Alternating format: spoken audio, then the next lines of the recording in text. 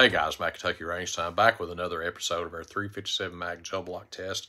And this test is going to be focusing on the Hornady 125 grain FP flat point XTP bullet. Now, this bullet is uh, is just like the flat point 158 that we tested earlier, uh, just the 125 grain weight. And uh, again, this these bullets are designed for use in rifle. Uh, but I'm also going to test them out of these pistols just to see how they did. Uh, if you've already watched the 158 grain FP XTP test, then you probably already know what to expect. Uh, my only hope is that this being uh, 30 grains lighter, that we're going to end up with a little bit of a velocity increase for the pistols, and we might see that we get better expansion down into the, a little bit farther down into the shorter barrels. So, uh, so let's turn around here and take a look at the loading and then we'll get on out to the range. So here's a look at our components on this one. Um, CCI small pistol Magnum primers, Winchester 296 powder, and the Hornady bullets. And here is a good look at the loading on this. You can see how much of this bullet's down in the case. And here is a look at the flat point base on these. Uh, that that that hollow point being different than the hollow point on the straight XTP. So, uh, all right, guys, let's get out to the range, take a look at these. I'll have everything in a spreadsheet here and slideshows at the end of the video, and let's go see what it does.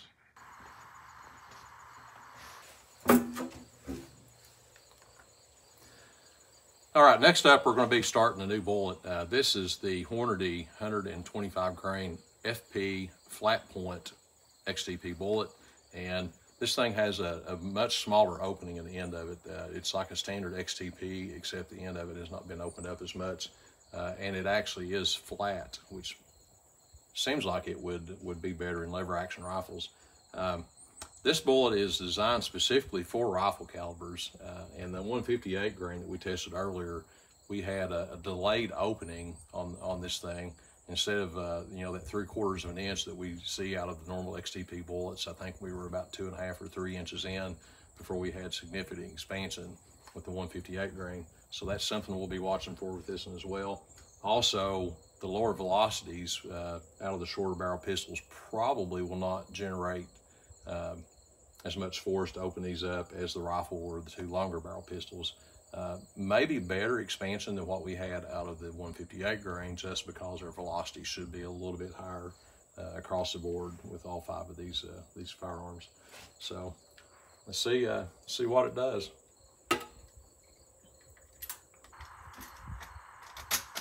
So just a note, the uh, the gel block has been shot up from both ends. I've got it turned around and set up pretty much where the cleanest portions left are actually at the front end of this load.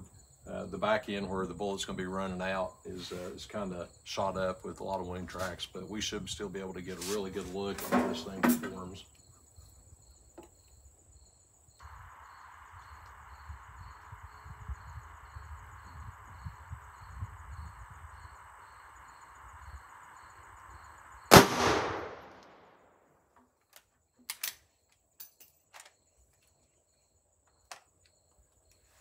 Velocity was 2132.8 feet per second.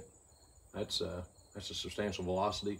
And I can already see from here, we've got that, that XTP star pattern, expansion pattern here right at the front end of the swing track. So uh, let's go down here and see how this thing actually did.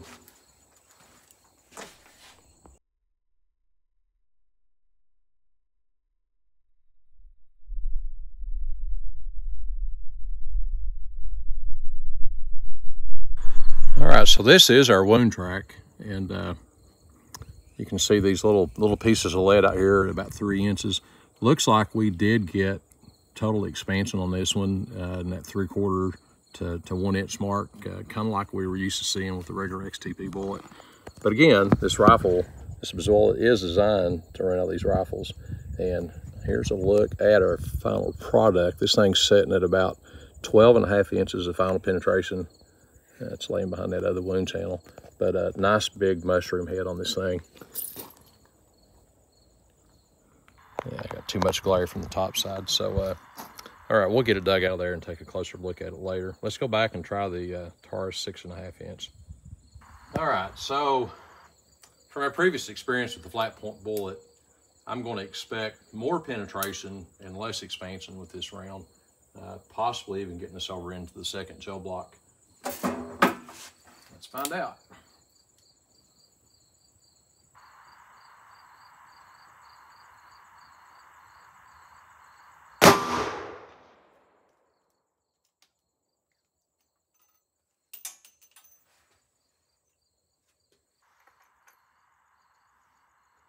All right, velocity of 1452.1 feet per second. And pretty sure we got a catch on that one. Let's go look at it.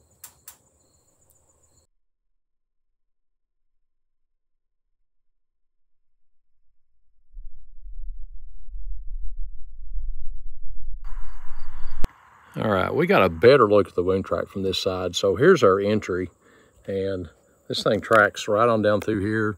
We did get a little bit slower expansion, but we still had total expansion by about an inch, inch and a quarter mark on this. Uh, wound track follows all the way down. Not a huge temporary wound cavity on this one. And we are laying out here at about 18 inches. Let's get turned around on the other side and see if we can get a better look at this bullet. Okay, so our entry with the six and a half inch Taurus bullet was right behind the rifle bullet. It's hard to see from this side, but uh, tracks right on through, passes the rifle bullet here at, at 12 and a half inches and we got a final penetration of about 18 inches down here. All right, nice expansion on this bullet from the uh, Taurus six and a half inch tracker. And let's go back and see what the Ruger GP100 will do. All right, next up is the Ruger GP100 five inch with the uh, Hornady 125 grain FP XTP bullet.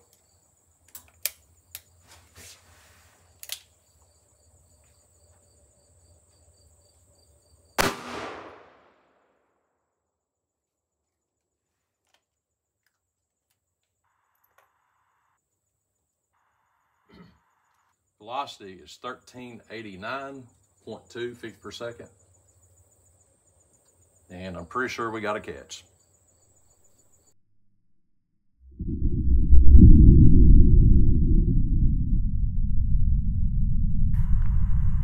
All right, wound track starting right here. And we get pretty quick expansion out of this. Uh, I think we're getting better expansion out of these than we were with the 158s. Of course, we've got more velocity on these rounds where they're uh, about 33 grains lighter. Uh, temporary wound cavity.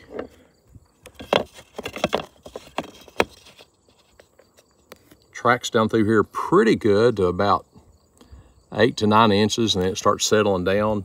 And, and then from there, we 22 and a quarter inches. So that's the Ruger GP 100. And let's go back and try this Rossi RP63. So this is the Rossi RP63 three inch barrel and the Hornady 125 grain FP XTP bullet. That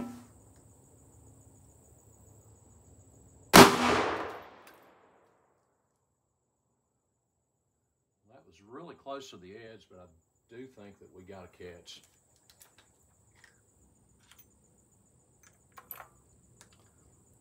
Velocity was 1236.2. I don't see where it squirted out the side, so let's see what we end up getting. And I was wrong. We did not get a catch. It did squirt out the side about halfway down the second gel block. So, Rossi RP63, three inch barrel, shot number two.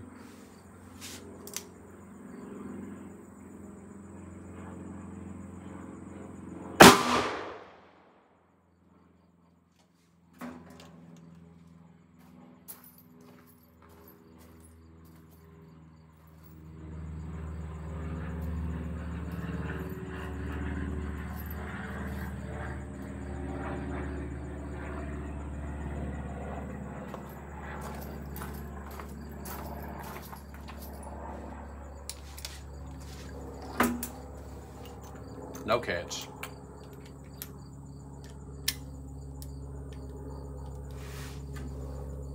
Rossi RP63 three inch barrel, shot number three.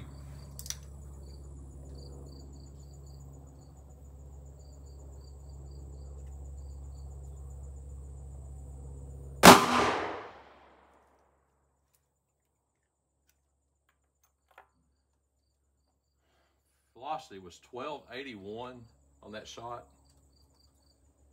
with three shot average velocity of 1249. Let's go see if we got the catch on that one.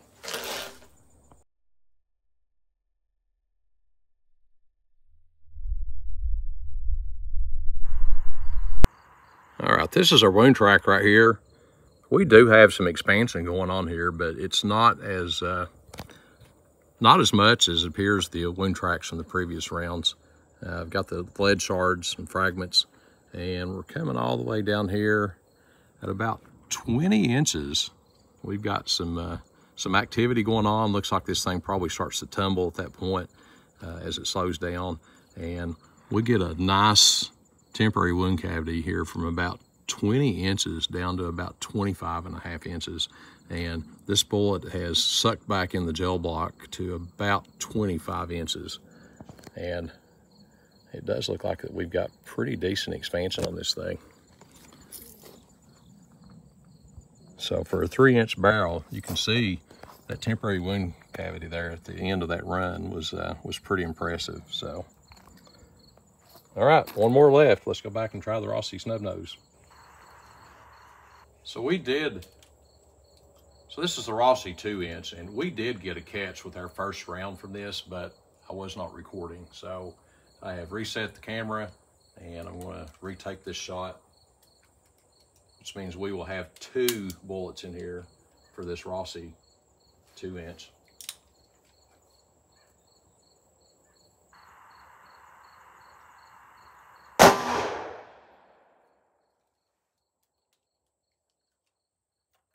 Also means we're going to have a two shot velocity average average velocity over two shots of 1124.3 feet per second. The standard deviation of 12.5. And let's go take a look at these now.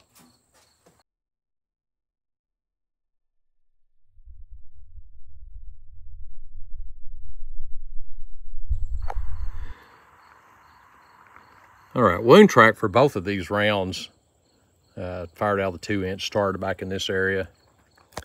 They track right down here into the middle. And I had a down angle on these the way I was shooting. And actually both these bullets ended up, talk about a consistent performance. We're both sitting in here at about 22 inches of penetration and literally they are setting one right behind the other.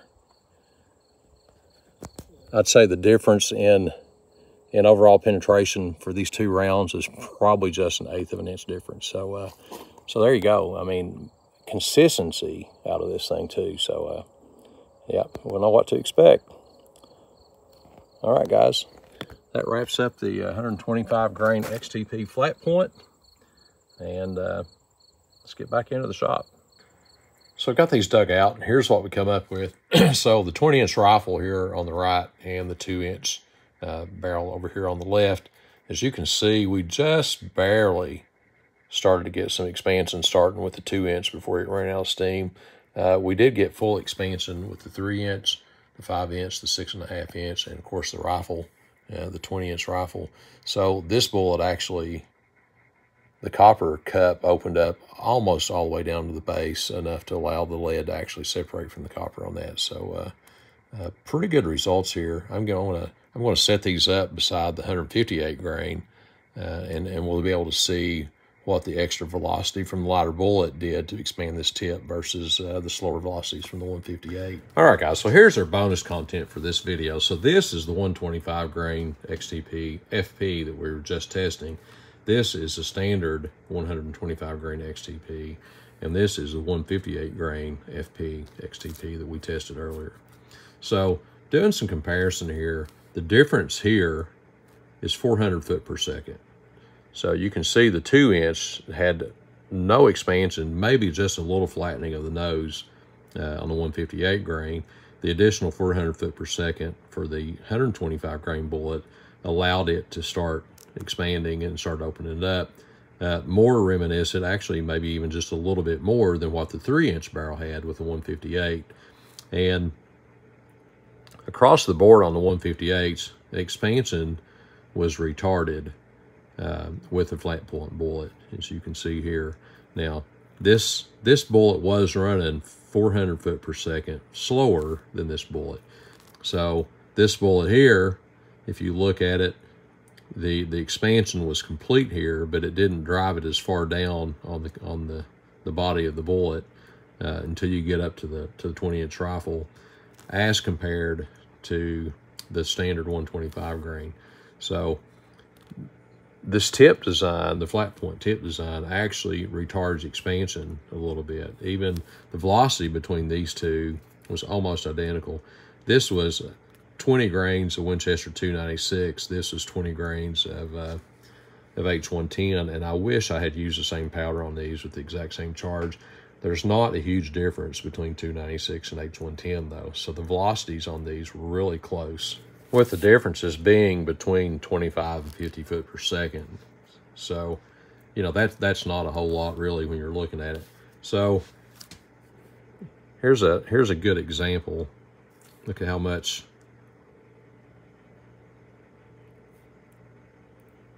farther down on the bullet the expansion carried with the standard nose, the original XTP nose versus the flat point nose. And uh, you know, even even in the two inch version here, you can see, I don't know if I can get these to stand up on their side or not, but actually this one was about even and this one actually, the petals actually folded back down past the base. And of course, the uh, the rifle rounds in both of these basically just completely flattened out to uh, to almost nothing. This is actually separating like you saw in the video earlier. So, all right, guys. So that's the difference that the, the nose profile on these two bullets makes. And this is the difference that 400 foot per second of velocity makes. All right, guys, so there it is, the Hornady 125 grain FP XTP bullet, uh, another solid performance. And I do have a slide coming up here right after this that, that has uh, these fired rounds set up beside the 158 grain flat point fired rounds and the 158 grain standard XTP fired rounds.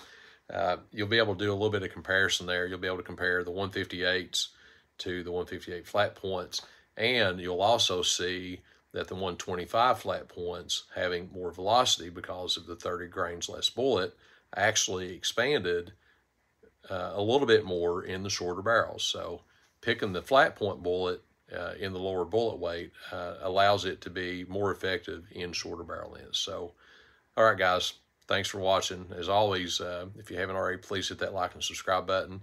Any questions, leave them in the comments. Matt from Kentucky Range Time. We will catch you on the next one.